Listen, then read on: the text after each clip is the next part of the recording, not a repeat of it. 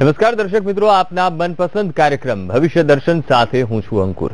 દર્શક મિત્રો આજે કેવા પ્રકારનો આપને લાભ પ્રાપ્ત થશે? આજે આપનો દિવસ કેવો રહેશે? તેમજ આપની શંકા અને સમસ્યાનું સમાધાન કરવા માટે અમે આજે તમારી સાથે ઉપસ્થિત થયા છીએ. ત્યારે આજે સ્ટુડિયોમાં આપણી સાથે જોડાયા છે ડોક્ટર મહેન્દ્રભાઈ પંડ્યા. મહેન્દ્રભાઈ સ્ટુડિયોમાં આપનું સ્વાગત છે. ધન્યવાદ. મહેન્દ્રભાઈ સૌથી પહેલા આજનું પંચાંગ શું છે તે આપણા દર્શક મિત્રોને. શ્રી ગણેશાય નમઃ.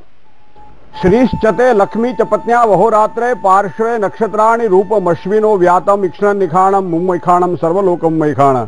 સર્વ દર્શક મિત્રો, સુપ્રભાત. જય ગણેશ. નિજ જ્યેષ્ઠ મહિનો કૃષ્ણ પક્ષ અને પ્રતિપદા એટલે કે અંધારિયાની એકમ છે આજે. પૂર્વાષાઢા નક્ષત્ર ઇન્દ્ર નામનો યોગ અને કૌલવ નામનું કરણ છે, રાશિ છે ધન. ભધ, ફ અને ઢ અક્ષર છે એવા ધન રાશિવાળા જાતકો માટે. દિવસ આજનો મંગલમય રહેશે. જે કોઈ જાતકોનો જન્મ થાય, એની રાશિ ધન રહેશે. એકંદરે આજનો દિવસ મધ્યમ છે. જય ગણેશ. બિલકુલ મહેન્દ્રભાઈ દિન વિશેષમાં આજે શું છે તે આપણા દર્શક મિત્રોને કહેશો. મનથી માની તમે મૂકી દો મમતા, જન્મ્યા સો મરી જવાના.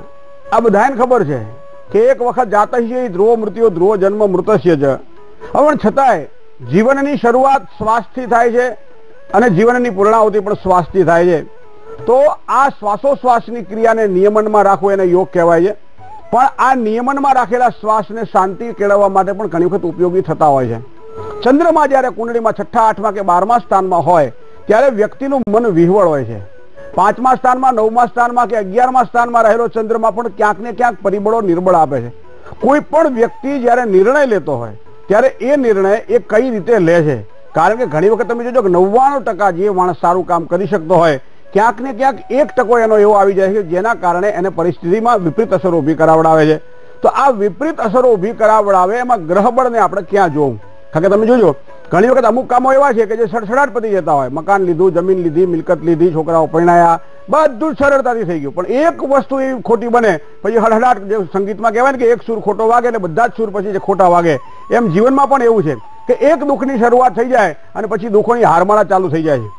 તો ચંદ્રમાં એમ કે છે કે માનસિક શીતળતા અને શાંતિ તો તને હું આપું જ છું, પણ તારે એના માટે કંઈક પ્રયત્ન કરવા પડશે.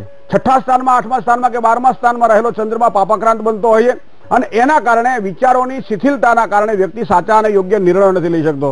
તો આવા સમયે મહાદેવજીની પૂજા કરવી જોઈએ. ત્રિષડાય ત્રણ, છ અને અગિયારમાં સ્થાનમાં રહેલો ચંદ્રમાં જો તમારી કુંડળીમાં હોય, તો પણ ક્યાંક ને ક્યાંક આવું જ રહેશે.